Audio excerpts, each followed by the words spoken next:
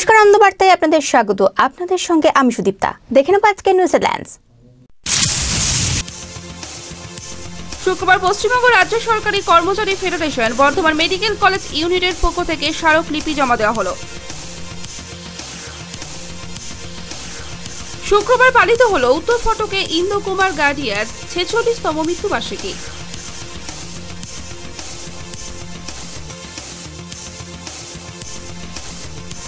বৃহস্পতিবার সন্ধ্যায় বর্ধমান জেলার আউসকামের মাটিতে নেমে এলো নক্ষত্র।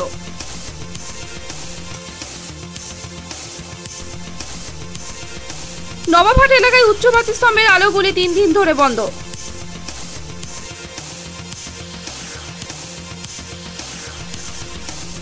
গ্রিনভিউ নার্সিং হোমে ন বছরের ছোট্ট শিশুর পেটে টিউমারের বিরল অস্ত্রোপচার করা হয়।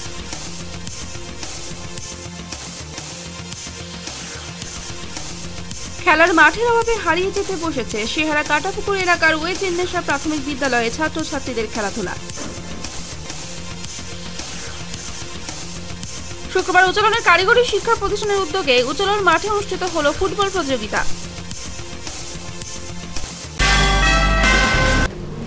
আসছে বিস্তারিত খবরে। শুক্রবার পশ্চিমবঙ্গ রাজ্য সরকারি কর্মচারী ফেডারেশন বর্ধমান মেডিকেল কলেজ ইউনিটের পক্ষ থেকে দশ দফা দাবির ভিত্তিতে মেডিকেল কলেজের অধ্যক্ষের কাছে একটি স্মারকলিপি জমা দিল।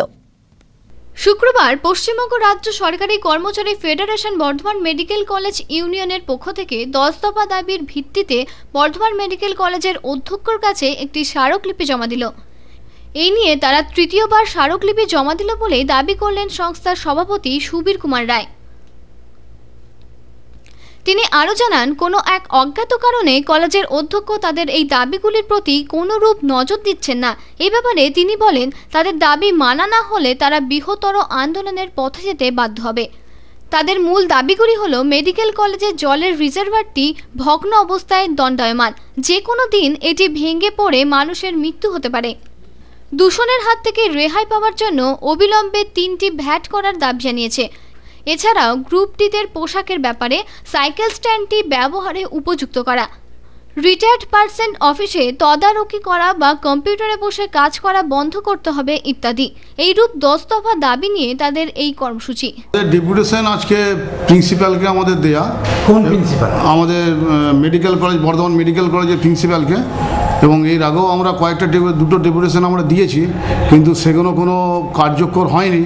সেটার জন্য আমরা এই ডেপুটেশনটা হচ্ছে থার্ড ডেপুটেশন। হ্যাঁ এবং তিনি কোনো ইমপ্লিমেন্টেরও করেনি এবং সেগুলো আমরা কলেজের স্বার্থেই আমরা এগুলো বলেছিলাম, করতে বলেছিলাম। উনি বলছেন যে হ্যাঁ দেখব, দেখছি, কিন্তু আজ পর্যন্ত কোনো কিছু করেননি। যেমন ধরুন, একটা ব্যাপার হচ্ছে যে, আমাদের এখানে কিছু রিটায়ার্ড এমপ্লয়ি আছে হ্যাঁ তারা কিন্তু এখানে কাজ করে যাচ্ছে, তাদের নিয়োগ নেই, কোনো গভর্নমেন্ট অর্ডার নেই, কাজ করে, এবং তারা অফিসিয়াল কাজ করে যাচ্ছে, যেগুলো আমাদের মানে উন্নয়নের পক্ষে খুবই ভালো এবং এখান থেকে অনেক দেখা যাচ্ছে যে, খবরাখবরও বেরিয়ে যেতে পারে। এবং এমনও হয়েছে, আমাদের জয়েন্ট এন্ট্রান্সে যখন পরীক্ষা হয় স- তখন একজন রিটায়ার্ড এমপ্লয়িকে দিয়ে সেখানে আমাদের বাস্ক সিল খোলা হয়েছে। সেটা নিয়েও আমরা প্রিন্সিপালকে আমরা ডেপুটেশনে বলেছি।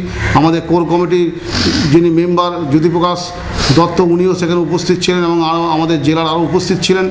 হ্যাঁ বলেছি এবং তিনি এই ব্যাপারে কোনো কর্ণপাত করেননি এবং ব্যাপার হচ্ছে তাকে দিয়ে এখনও পর্যন্ত অফিসিয়ালে যেসব ফ্যাক্স আসছে, চিঠি আসছে সব কিছু করাচ্ছে, এটাতে আমাদের মনে হয় যদূর সম্ভব যে আমাদের এই কলেজের যেসব কনফিডেন্সিয়াল যেসব আমাদের কাগজপত্র, এগুলো লিক আউট হয়ে যাওয়ার সম্ভাবনা খুব বেশি এবং হচ্ছেও তাই। এবং এমনও দেখা যাচ্ছে যে এখানে সে এখানকার স্টাফ নয় তাকে দিয়ে বাইরে কাজ করানো হচ্ছে বাইরে মানে আমাদের অফিসের কাজ করানো হচ্ছে। সেই অফিসের কাজ করানোর ব্যাপার নিয়ে আমাদের এটা খুব আমাদের এই কর্মচারী ফেডারেশনের পক্ষে খুবই আমাদের দ্বিধা আছে আমাদের যে কেন এগুলো করার হবে আমাদের যে মেডিকেল কলেজে যে উন্নয়ন বা কোথায় কী হচ্ছে না হচ্ছে এগুলো সবই বাইরে চলে যেতে পারে। সেই জন্য ক দফা দাবি আছে আপনাদের? আমাদের আমাদের মোট আছে দশ দফা দাবি আছে। হ্যাঁ মানে ন দফা আগে যখন দুবার দিয়েছেন ডেপুটেশন কবে কবে দিয়েছেন আমরা দিয়েছিলাম একবার এই এপ্রিলে দিয়েছিলাম আর একবার আমরা দিয়েছিলাম মেতে। কোনো ইয়ে না না না না না নতুন প্রিন্সিপাল তো? ইনি নতুন প্রিন্সিপাল থাকাকালীনই আমরা দুবার দিয়েছি। তাতে কোনো হেলথ কোনো কোনো হেলদেল নেই, কোনো কিচ্ছু উনি করেননি এবং আমরা যখনই আমরা যাচ্ছি, এই দেখছি, এই দেখব, এই করব এইসবগুলো করছেন উনি। কিন্তু এটা নিয়ে আমরা খুবই কর্মজীবী ফেডারেশন যারা আছে, আমরা খুবই এটা নিয়ে অস মানে অসন্তুষ্ট। আমরা এই জন্যেই যে আমাদের উন্নয়ন বলতে কিছু নেই। আগে যিনি ছিলেন আমাদের প্রফেসর মানে মাননীয় অধ্যক্ষ মহাশয় মঞ্জুশ্রী রায় উনি আমাদের সাথে যেতেন জঙ্গলে যেতেন দেখতেন কি কাজ হচ্ছে আমাদের ইন্সপিরেশন যোগাতেন প্রত্যেকটি কাজে সংগঠনের সাথে কথা বলতেন কোথায় কি উন্নয়ন কি হবে কোন কন্যারে কী হবে। আমরা একটা ইন্সপিরেশন আমরা পেয়েছি ওনার কাছ থেকে এই ইন্সপিরেশন কিন্তু এনার কাছ থেকে সেই ইন্সপিরেশন আমরা পাচ্ছি না। এর? প্রিন্সিপালের নাম হচ্ছে প্রফেসর সুকুমার বসা। পার্থ মজুমদারের রিপোর্ট আনন্দ বার্তা চোখ রাখব পরবর্তী খবরে। শুক্রবার উত্তর ফটকে ইন্দ্রকুমার গার্ডিয়ার ছেচল্লিশতম মৃত্যুবার্ষিকী পালিত হল। এই স্মরণ সভায় উপস্থিত ছিলেন জামালপুরের বিধায়ক উজ্জ্বল প্রামাণিক সহ বিশিষ্ট ব্যক্তিবর্গ। সুশীল গাড়িয়া এবার মাল্যদান করবেন। শুক্রবার বর্ধমানের উত্তর ফটকে ইন্দুকুমার গার্ডিয়ার পঁয়তাল্লিশতম মৃত্যুবার্ষিকী পালিত হল। উনিশশো উনসত্তর সালে এগারোই ডিসেম্বর আত্মতায়ীর হাতে নিহত হন ইন্দুকুমার গার্ডিয়া। আজ এই স্মরণ সভায় উপস্থিত ছিলেন জামালপুরের বিধায়ক উজ্জ্বল প্রামাণিক ও উনত্রিশ নম্বর ওয়ার্ডের কাউন্সিলর সুশান্ত প্রামাণিক। আজকে আপনারা জানেন যে উনিশশো সত্তর বাহাত্তর সালে যে বামপন্থীরা বাংলায় যে তরুণ যুবক এবং যারা বিরোধী রাজনীতিতে বিশ্বাস করত, তাদেরকে তারা হত্যার পরিকল্পনা করেছিল এবং আমাদের বাংলায় সেই সময় অনেক তরুণ যুবক এবং সকলেই শিক্ষিত মানুষ তাদেরকে হত্যা করেছিল। সেই রকমই বর্ধমান রাজ কলেজে আমাদের ইন্দু গাডিয়াকে হত্যা করা হয়েছিল। এবং এই ইন্দু গাডিয়া তৎকালীন যুগে ছাত্র পরিষদের একটা তরুণ নেতা ছিল এবং বিভিন্ন রকম সমাজসেবামূলক কাজের সঙ্গে যুক্ত ছিল। বামপন্থীরা বুঝতে পেরেছিল যে যদি আমরা ইন্দু গাড়িয়াকে আজকে পৃথিবী থেকে সরিয়ে দিতে না পারি, তাহলে আগামী দিনে তাদের রাজনীতি করার একটা দুরহ হয়ে দাঁড়াবে। সেই জন্য তরুণ যুবককে তারা হত্যা করেছিল। সেই ইন্দু গাড়িয়াকে আমরা যে যারা বাম বিরোধী রাজনীতি করি, আমরা যারা আজকে বর্তমানে তৃণমূল কংগ্রেস করছি, আমরা তাকে ভুলে যাইনি, তাকে স্মরণ করি এবং তার পরিবারের প্রতি আমাদের সহমর্মিতা আগেও ছিল, এখনও আছে। তার ভাই আমাদের সঙ্গে রয়েছেন, তার বাড়ির সকলেই আমাদের সঙ্গে আছেন এবং আমরা যাতে তাকে স্মরণ করি তার শান্তি পায় এবং আগামী দিনে যাতে এই ধরনের কোনো দুর্ঘটনা বা এই ধরনের হত্যা লীলা না ঘটাতে পারে, সেই চেষ্টাই আমরা আগামী দিনে করে যাচ্ছি। এবং গাডিয়া পরিবারের সদস্য সুনীল গাডিয়া ও এলাকার বিশিষ্ট ব্যক্তিবর্গ। এদিন তার প্রতিকৃতিতে মাল্যদান করেন উপস্থিত বিশিষ্ট ব্যক্তিবর্গ। এছাড়াও উপস্থিত ব্যক্তিবর্গ তার স্মৃতিচারণা করেন। আজকে এখানেতে উনিশশো উনসত্তর সালে মার্কসিস্ট কমিউনিস্ট পার্টির হাতে নিহত হয়েছিলেন এই এলাকার দামাল ছেলে শ্রী ইন্দু গাড়িয়া। তার আজকে ছেচল্লিশতম মৃত্যুবার্ষিকী উপলক্ষে আজকে আমাদের এখানে স্মরণ সভা অনুষ্ঠিত হচ্ছে। এই স্মরণ সভার মধ্যে দিয়ে আমাদের আগামী দিনে আমরা একে শপথ আমরা লড়াই করব। তাই আজকে আমাদের মধ্যে উপস্থিত হয়েছেন জামালপুর বিধানসভার বিধায়ক শ্রী উজ্জ্বল প্রামাণিক মহাশয়। এবং এই এলাকার বিশিষ্ট সমাজসেবী এবং অনেক গণ্যমান্য ব্যক্তিরা এসছেন এবং এই পরিবারের পক্ষ থেকে শ্রী সুশীল গাড়িয়া আমাদের মধ্যে উপস্থিত হয়েছে গৌরব কোনারু রিপোর্ট আনন্দ বার্তা বৃহস্পতিবার সন্ধ্যায় বর্ধমান জেলার আউশ গ্রামের মাটিতে নেমে এলো নক্ষত্র। যে সে কোনো নক্ষত্র নয় বলিউডের হার্টথ্রব অভিনেতা অমিতাভ বচ্চন। শুটিংয়ের জন্যই তার আগমন। এক পলক দেখার জন্য দর্শকদের ভিড় উপচে পড়ে। স্বপ্নের নায়ক যদি চোখের সামনে এসে হঠাৎ উপস্থিত হয় সত্যি দিনটি স্মরণীয় হয়ে থেকে যায়। বৃহস্পতিবার সন্ধ্যায় এমন এই স্বাদ পূরণ হলো বর্ধমান জেলার কিছু মানুষের। বলিউডের বিখ্যাত অভিনেতা অমিতাভ বচ্চন বৃহস্পতিবার সন্ধ্যায় পা রাখলেন বর্ধমানের আউশ গ্রামে।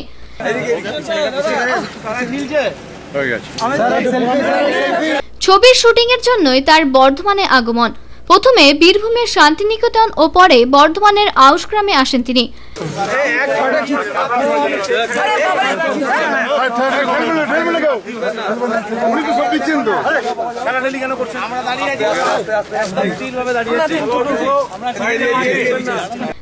বিগ বিগে এক পলক দেখার জন্য অসংখ্য দর্শকদের ভিড় উপচে পড়েছিল।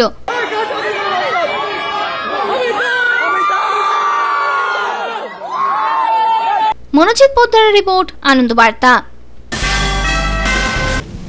এখন সময় একটা বিরতি সঙ্গে থাকুন। ফেরলাম বিরতি পর। নবাবহাট এলাকায় উচ্চ বাতিস্তম্ভের আলোগুলি তিন দিন ধরে কোনো এক অজ্ঞাত কারণে বন্ধ। এর ফলে এলাকায় ক্ষোভের সঞ্চার হচ্ছে। যে কোনো সময় ক্ষোভের বহির্প্রকাশ ঘটে যেতে পারে। নওয়াপাট এলাকায় উচ্চ বাতিস্তম্ভের আলোগুলি অদৃশ্য হাতের কারসাজিতে অন্ধকারাচ্ছন্ন। দীর্ঘ ছ মাস আগে উচ্চ বাতিস্তম্ভ বসানো হলেও দীর্ঘ টাল বাহানার পর পনেরো দিন আগে রাতের অন্ধকারকে ঘুচিয়ে আলোকিত হয়ে ওঠে। হঠাৎ তিন দিন আগে পূর্বের ন্যায় অন্ধকারাচ্ছন্ন হয়ে পড়ে ওই এলাকা। পূর্বের ন্যায় উচ্চ বাতিস্তম্ভ এখন শুধু সৌন্দর্যায়নের বস্তু হয়ে দাঁড়িয়েছে। পনেরো দিন লাইটটা জ্বলেছিল। এখানে জনবহুল এলাকা সেকেন্ডে সেকেন্ডে মানুষ অ্যাক্সিডেন্ট হয়ে মারা যাচ্ছে। নবাডে মোড় নবাডে মোড়। আমাদের করজোরে আবেদন বিডিএ সভাপতি রবিবাবু রবিরঞ্জন চট্টোপাধ্যায় আমাদের দক্ষিণের বিধানসভার এমএলএ মন্ত্রী তার কাছে করজোরে আমাদের অনুরোধ লাইটটা ইমিডিয়েট যেন আমাদের ব্যবস্থা যেন করে দেয়। গত পোস্ট তিন দিন ধরে লাইটটা অফ হয়ে গেছে। লাইনটা কেটে দেওয়া হয়েছে। আমাদের বিডিএ সভাপতি তাকে করজোরে অনুরোধ যেন বিডিএ সভাপতি রবিরঞ্জন বাবুর কাছে আমাদের অনুরোধ যেন ইমিডিয়েট লাইটটা যেন আমাদের চলে এখানে। আমার শিবপুর দিঘিপার নবাট আমার এলাকার লোক সব ব্যবসাদার মানুষ আছে। সেখানে সেখানে মানুষ দুর্ঘটনায় হচ্ছে অ্যাক্সিডেন্ট হচ্ছে অ্যাক্সিডেন্ট হচ্ছে মরছে। সেদিন মারা মারা গেল তিনজন মারা গেল এখানে একজন মারা গেল। লাইনটা পনেরো দিন থেকে জ্বলছিল জ্বলার পর কেটে দিল। মাত্র পনেরো দিন? মাত্র পনেরো দিন। তার আগে জ্বলতো না? তার আগে জ্বলতো না। কতদিন আগে লাগানো হয়েছে? প্রায় ছ প্রায় ছ সাত মাস হবে। তখন থেকে জ্বলতোই না, না না জ্বলতোই না। যে পনেরো দিন হয় আর তারপরে তারপর বন্ধ হয়ে গেছে। সন্ধ্যার পর তার থেকে আর আলো বিচ্ছুরিত হয় না বলেই অভিযোগ করলেন এলাকার ব্যবসায়ী থেকে স্থানীয় বাসিন্দারা। সত্তর এর ব্যবস্থা না করলে তারা বৃহত্তর আন্দোলনের পথে যেতে বাধ্য হবেন বলেই জানালেন। প্রয়োজনে রাস্তা অবরোধ করবেন। অজ্ঞাত কারণে লাইনটা কেটে দিয়েছে। সেটা আমরা ব্যবসাদাররা বুঝতে পারছি না। আমাদের অনুরোধ যে যত তাড়াতাড়ি সম্ভব এই লাইনটা জুড়ে দেওয়া হোক। অনুরোধ করব। অবরোধ হ্যাঁ রাস্তা অবরোধ অবরোধ পার্থ মজুমদার রিপোর্ট আনন্দ বার্তা গ্রিনভিউ নার্সিংহোমে ন বছরের ছোট্ট শিশুর পেটে টিউমারের বিরল অস্ত্রোপচার করা হয়। এই অস্ত্রোপচারের মধ্যে দিয়ে নার্সিংহোমের কর্মের নিপুণতার পরিচয় দিল। বর্তমানে সুস্থ, ন বছরের ওই ছোট্ট শিশু। বর্ধমান শহরের অদূরে অবস্থিত গ্রিনভিউ নার্সিংহোমের সাফল্যতার নিদর্শন পরিলক্ষিত হল। কাজের মাধ্যমে তারা প্রমাণ করে দিলেন তাদের কর্মের নিপুণতা। মুর্শিদাবাদ জেলার ভরতপুরের বাসিন্দা ন বছরের ছোট্ট সার্জিনার পেটে টিউমার হওয়ায় বেশ কয়েকদিন ধরে কষ্ট পাচ্ছিল। এরপর তাকে স্থানীয় হাসপাতাল ও পরে বিভিন্ন বেসরকারি হাসপাতালে ভর্তি করা হয়। কিন্তু কোনো সুফল পাওয়া যায়নি। আপনাদের বাড়ি কোথায়? আমাদের বাড়ি ভরতপুর মুর্শিদাবাদ ভরতপুর। যে ভর্তি আছে কে হন আপনার? ভাইজি। কি হয়েছিল ভাইজি? ভাইজির হয়েছিল যে কিডনির পাশে একটি টিউমার হয়েছিল। যেটা মুর্শিদাবাদে দেখানো হয়েছিল ওখান থেকে ট্রান্সফার করেছিল বর্ধমান হাসপাতাল। ওখান থেকে বর্ধমান হাসপাতাল থেকে ওই কেসটি হয়নি, যেটা কলকাতায় ট্রান্সফার করা হয়েছিল। তারপরে নবাব চত্বরে বেসরকারি নার্সিংহোমগুলোতে দেখাতে গিয়েছিলাম, ওখানেও দেখানো হয়েছিল, ওরা দু তিন দিন ভর্তি রাখার পর বলা হয়েছিল যে এখানে কেসটি হবে না। তখন আমাদের একটা ডাক্তারের মারফতে আমরা এই নার্সরুমের গ্রিন ভিউ নার্সরুমের খবরটি পাই। এখানে আসি, এখানে এসে একটি বোর্ড বসানো হয়, ডাক্তারদের বোর্ড বসানোর পর ওনার সিদ্ধান্ত যে এটি একটি রিক্সের ব্যাপার আছে। এবার এখানে আর বিশ্বাস এসে এই অপারেশনটি সাকসেসফুল করে। এবার এখন রোগীটি সুস্থ আছে। কি নাম আপনার ভাইজির? আমার ভাইজির নাম হচ্ছে সাজিনা খাতুন। বয়স? ন বছর। অবশেষে গ্রিনফিল্ড নার্সিংহোমের সার্জিনাকে নিয়ে গেলে সেখানে সার্জিনার অস্ত্রোপচার করা হয়। নাম হচ্ছে Sarjina Khatun nine years female girl lady তো যেটা হচ্ছে একটা অ্যাড্রেনাল এসওয়েল ছিল। অপারেশনটা খুবই কমপ্লিকেটেড আর রিস্কি ছিল। ডক্টর আর এস বিশ্বাস নেতৃত্বে এটা হয়েছে এবং কমপ্লিটলি সাকসেসফুল হয়েছে অপারেশনটা এখন বাচ্চাটি সুস্থ আছে। উম, বাড়ি কোথায় মেয়েটি? এটির বাড়ি হচ্ছে ভরতপুর মুর্শিদাবাদ। আচ্ছা তো এই মুহূর্তে কোন জায়গা থেকে তার চিকিৎসাটা সাকসেস হলো? এই মুহূর্তে? কোন জায়গা থেকে? মানে বর্ধমানে কোথা থেকে? এখন গ্রিনভিউ নার্সিংহোমে হ্যাঁ ওটিটা হয়েছে এবং বাচ্চা ভালো আছে। একাধিক নার্সিং কি ঘুরে এসে এখানে এসছে? হ্যাঁ, মানে কোথা কোথা? সেই বিশেষ জায়গাগুলো কোথায়? তো বর্ধমান প্রপার যেটা নবাবহাট ঘোষবাগান কোথাও অপারেশনটা করেনি বা হয়নি কোনোভাবে করা যায়নি কিন্তু আমাদের এখানে অপারেশনটা হয়েছে। মেডিকেল কলেজ কি যাওয়া হয়েছিল? মেডিকেল কলেজে গেছে বাচ্চা। সেখানে কি বলেছিল? সেখানে রেফার করেছিল হায়ার সেন্টার কলকাতা চতুর্থ পিজি চিকিৎসার মাধ্যমে সার্জিনা বর্তমানে সুস্থ? সারছি কি হয়েছিল তোমার? এখন ঠিক আছে? কোথায় ভর্তি হয় জানো? কোথায় ভর্তি হয় জানো? এখন ঠিকঠাক একদম? কোথায় বাড়ি তোমার? কিসে পড়ো? গৌরব কোনারের রিপোর্ট আনন্দবার্তা। এখন সময় আরও একটি বিরতি। খেলার মাঠের অভাবে হারিয়ে যেতে বসেছে শিয়ারা কাটাপুকুর এলাকার ওয়েজেন্নেশা প্রাথমিক বিদ্যালয়ের ছাত্রছাত্রীদের খেলাধুলা। প্রসঙ্গত, ওই বিদ্যালয়ের তিনজন ছাত্রছাত্রীর প্রাথমিক বিদ্যালয় সংসদ অনুষ্ঠিত মহকুমা ক্রীড়া প্রতিযোগিতায় প্রথম স্থান অধিকার করে মহকুমা স্তরে খেলতে যাবে। কিন্তু অনুশীলন করবার কোনো মাঠ নেই। খেলার মাঠের অভাবে অক্লান্ত পরিশ্রম ম্লান হয়ে যেতে বসেছে সেহারা কাটাপুকুর এলাকার ওয়েজেনেশা প্রাথমিক বিদ্যালয়ের ছাত্রছাত্রীদের। প্রসঙ্গত, ওই স্কুলেরই তিনজন ছাত্রছাত্রী বর্ধমান জেলা প্রাথমিক বিদ্যালয় সংসদের পক্ষ থেকে অনুষ্ঠিত মহাকুমা ক্রীড়া প্রতিযোগিতায় প্রথম স্থান অধিকার করে। স্কুলের নিজস্ব খেলার মাঠ না থাকায় তাদের প্রচেষ্টা ব্যর্থ হতে বসেছে।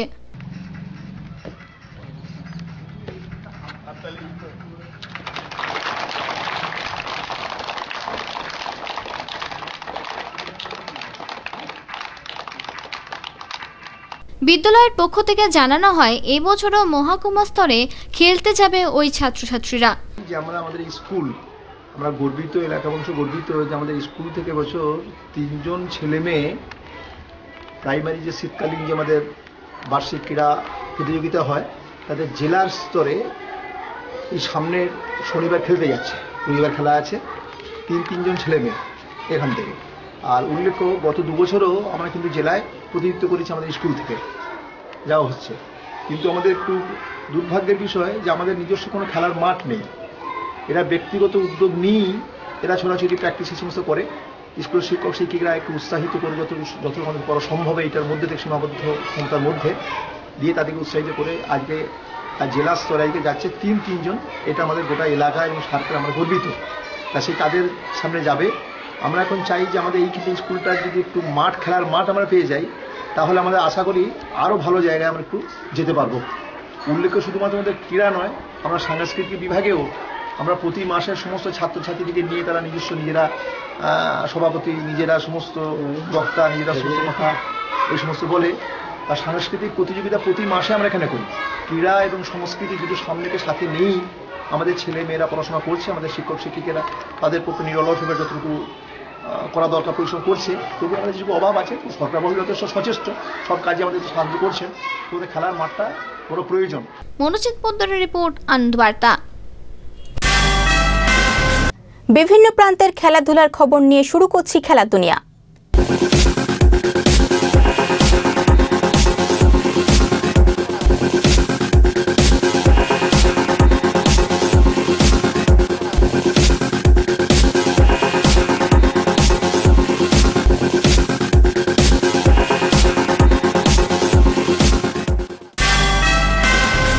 শুক্রবার উচ্চালনের কারিগরি শিক্ষা প্রতিষ্ঠানের উদ্যোগে উচ্চালন ফুটবল মাঠে শক্তিপদ ভট্টাচার্য ও অঞ্জলি ভট্টাচার্য স্মৃতি চ্যালেঞ্জ ফুটবল খেলা অনুষ্ঠিত হল। প্রতিযোগিতা ঘিরে সকলের মধ্যে উৎসাহ ছিল নজর কাড়া শীতের মরশুম পড়ার সাথে সাথেই বিভিন্ন স্তরে শুরু হয়ে গেছে শীতকালীন ক্রীড়া প্রতিযোগিতা। উচালনে শুক্রবার একটি কারিগরি শিক্ষা প্রতিষ্ঠানের উদ্যোগে উচালন ফুটবল মাঠে শক্তিপদ ভট্টাচার্য ও অঞ্জলি ভট্টাচার্য স্মৃতি চ্যালেঞ্জ ফুটবল কাপ অনুষ্ঠিত হলো। এক দিবসীয় এই ফুটবল খেলায় শিক্ষা প্রতিষ্ঠানের অন্তর্গত দলগুলি অংশগ্রহণ করে। আমরা প্রতি বছরে এই খেলাটা আয়োজন করে থাকি ছাত্রদের। তাদের উদ্দেশ্যে আমরা আজকে এই খেলাটা অনুষ্ঠিত করতে করছি।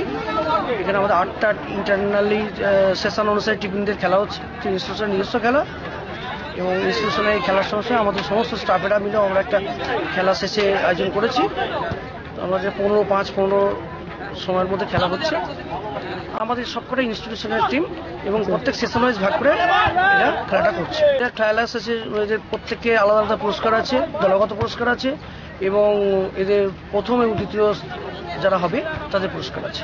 কোনো কিছু করতে হবে এটা আমাদের সেশন ওয়াইজ প্রত্যেকটা ইনস্টিটিউশন প্রতি বছরই করা হয়।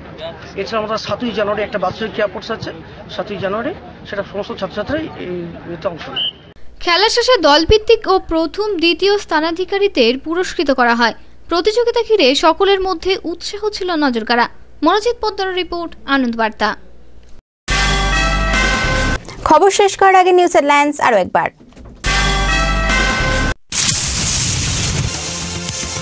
সরকারি কর্মচারী ফেডারেশন, বর্ধমান মেডিকেল কলেজ ইউনিটের পক্ষ থেকে স্মারকলিপি জমা দেওয়া হলো।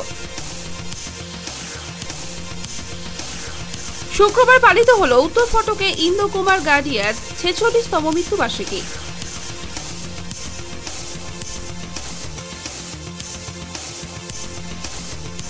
বৃহস্পতিবার সন্ধ্যায় বর্ধমান জেলার আউসকামের মাটিতে নেমে এলো নক্ষত্র।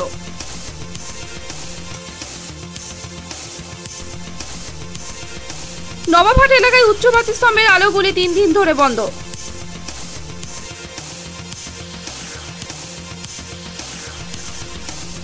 গ্রিনভিউ নার্সিংহোমে ন বছরের ছোট্ট শিশুর পেটে টিউমারের বিরল অস্ত্রোপচার করা হয়।